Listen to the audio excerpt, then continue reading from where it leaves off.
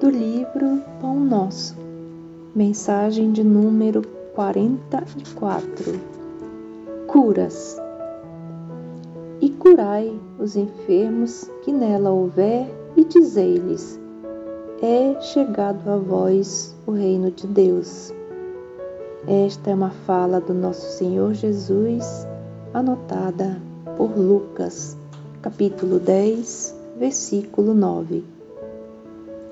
Comenta Emmanuel.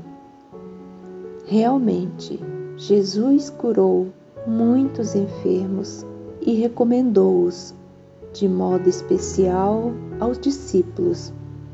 Todavia, o médico celestial não se esqueceu de requisitar ao reino divino quantos se restauram nas deficiências humanas. Não nos interessa apenas a regeneração do veículo em que nos expressamos, mas, acima de tudo, o corretivo espiritual. Que o homem comum se liberte da enfermidade, mas é imprescindível que entenda o valor da saúde Existe, porém, tanta dificuldade para compreendermos a lição oculta da moléstia no corpo, quanta se verifica em assimilarmos o apelo ao trabalho santificante que nos é endereçado pelo equilíbrio orgânico.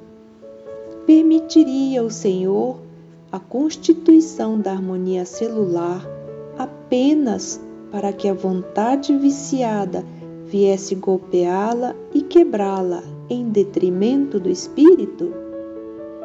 O enfermo pretenderá o reajustamento das energias vitais. Entretanto, cabe-lhe conhecer a prudência e o valor dos elementos colocados à sua disposição na experiência edificante da terra.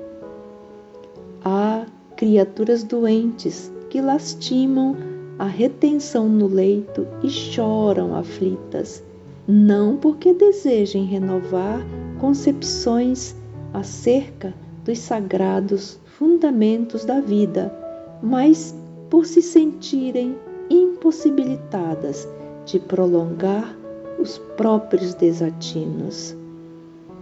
É sempre útil curar os enfermos, quando haja permissão de ordem superior para isso. Contudo, em face de semelhante concessão do Altíssimo, é razoável que o interessado na bênção reconsidere as questões que lhe dizem respeito, compreendendo que raiou para seu espírito um novo dia no caminho redentor.